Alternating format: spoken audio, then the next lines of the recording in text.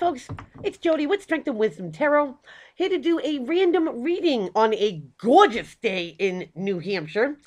It's like 55 degrees out here today. Hope it melts all the snow. Wishful thinking. Random reading for the 16th of March.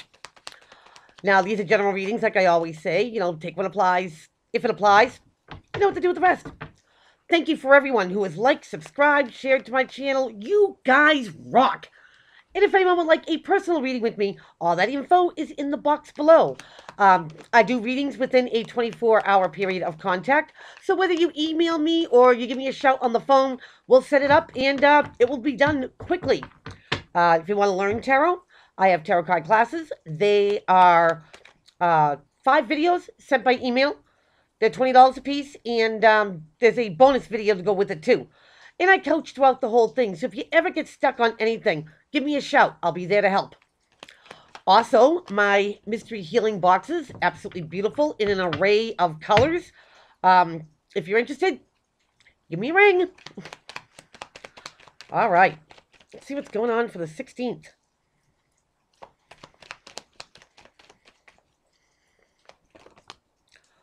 Oh.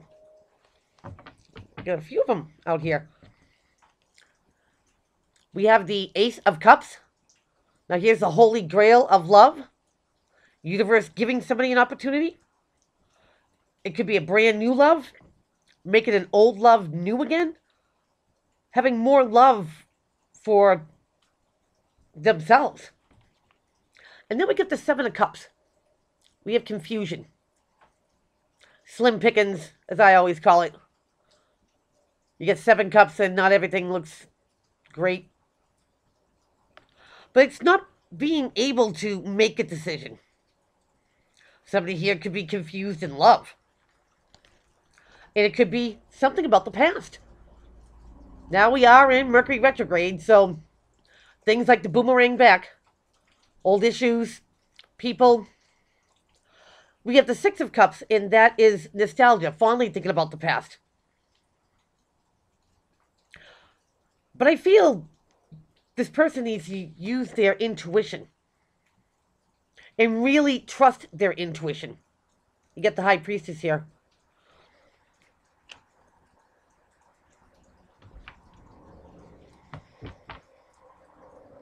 Maybe somebody here could have had an opportunity with someone in the past. Maybe something didn't come to fruition and now they're wondering, where'd I drop the ball? Or, like I said, something comes back from the past and it could be brand new. And someone's just like, why are you back here?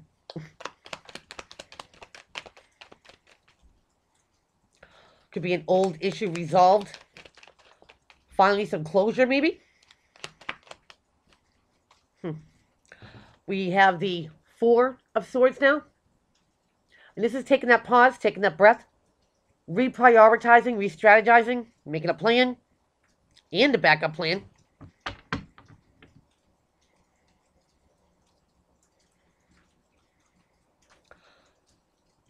Hmm. Somebody might be confused if somebody starts coming around again. Maybe it's like their old habits, their old ways.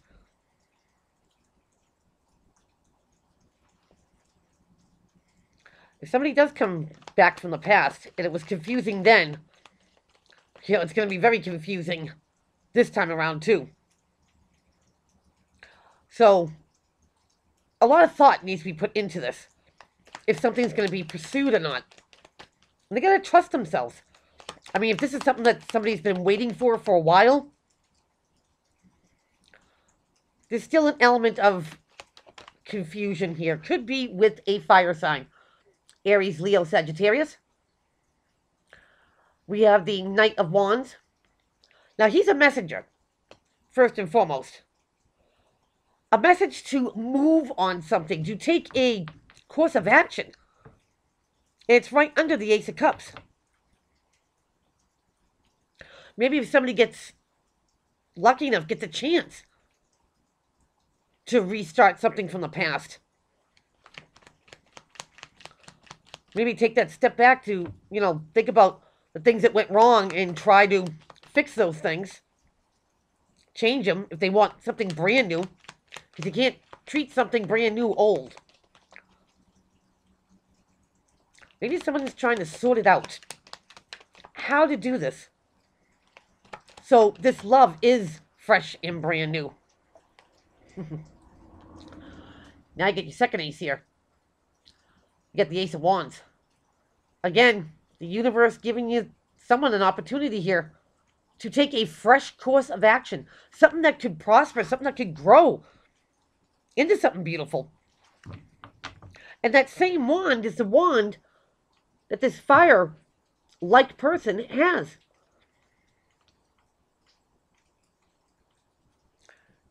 Somebody here might see the potential of something being able to grow, be awesome. And the other person's like, How do you see that?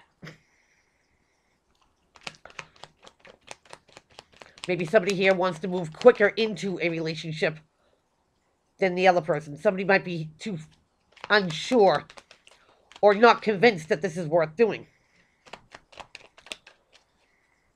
Especially if it's got anything to do with the past. Anything to do with the past. Get the Two of Cups in reverse. Right under the Six of Cups.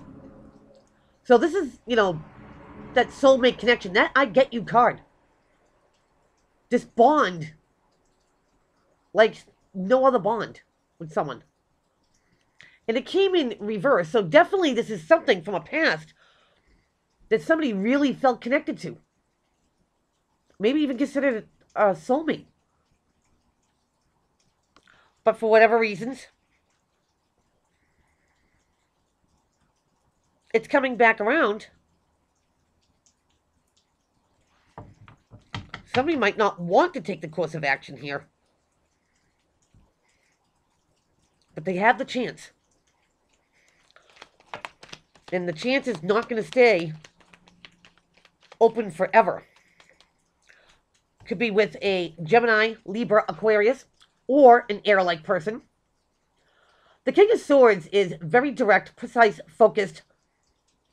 Do not come at him with BS. It's an insult to his intelligence.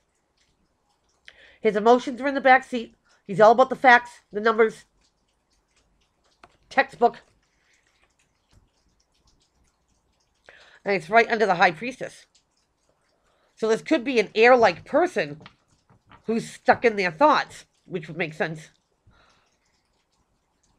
About why something's coming back around when something was over. Somebody gets a brand new start.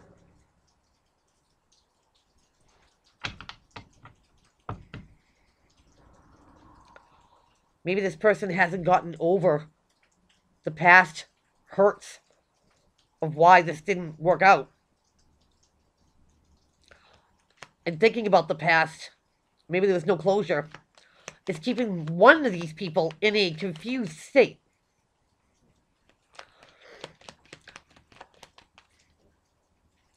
Well, I say get out of your head and start thinking with your heart. Learn from the mistakes. Put them into practice. Don't make them again. And start off fresh and clean. But somebody just can't stop thinking about it. Nine of Swords. This is agony. Overthinking. Anxiety. Losing sleep. And it's right under the Four of Swords. That taking a pause, taking a step back. Well, that's, you know, that's to clear your head and hear yourself think. This is just overthinking. Big time. Worries and stresses. Somebody might be worried and stressed out that they're going to get dusted. The Five of Pentacles.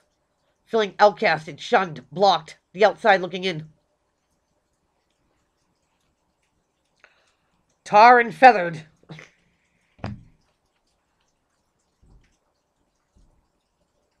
somebody here could have learned from their past mistakes. Realize that they did have at one point something very valuable with another person.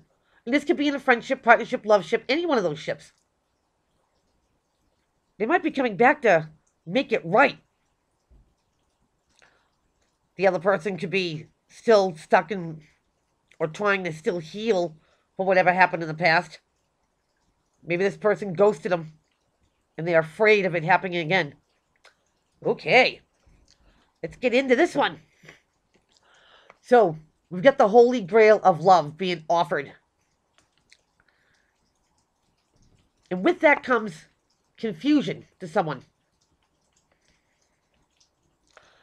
Yes, Mercury retrograde. It brings them back from the past. Six of Cups. Or a situation. And this could be in a friendship, partnership, love ship, career ship, any one of those ships. Maybe this time around, somebody should use their intuition. And trust their intuition.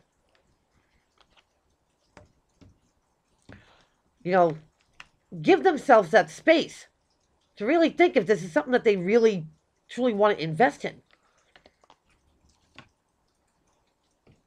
This could be with a fire like person, Aries, Leo, Sagittarius, or somebody who takes on these properties. Somebody here is very passionate, sees that something could be great again, and wants to seize the moment and put this into action. These two people could have been really close at one point.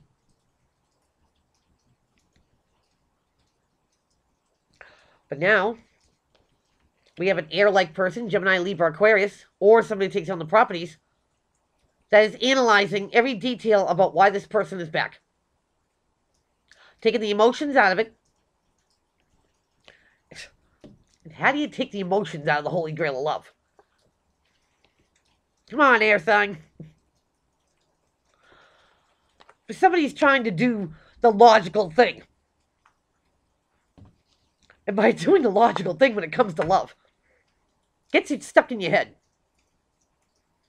You have to incorporate your emotions, your feelings. And this person is just so worried. Do they do this? Do they take the Holy Grail of love? Do they really rekindle something? Because somebody could have been dusted before in the past. Blocked, shunned, cast aside. And they don't want to feel that way again. Wow. So, folks, let's break it down. We've got somebody, a potential fire-like person, okay, sees an opportunity for new love. And this person might want to put something into action, you know, make it better than it was before. And someone's like, whoa, wait a minute. This causes a lot of confuse, confusion for someone. It could be somebody from the past. Somebody that someone was really deeply bonded with, connected with. This person shouldn't overthink or try to critique facts, figures. The person should go with their gut. Go with their intuition. It won't steer them wrong. Because the more this person thinks about this, pauses, the more they're making themselves crazy. Remembering the past hurts and stuff and why they felt like they were outside looking in. This person should take that leap of faith. Take that chance. Take that risk. Because if someone's willing to improve things that happened in the past and make it right, or make it better and wants to put that effort into it, you should give it a shot. So that is what I have for you. Please keep on liking, subscribing, sharing to my channel, and I'll see everybody back here real soon. Take care.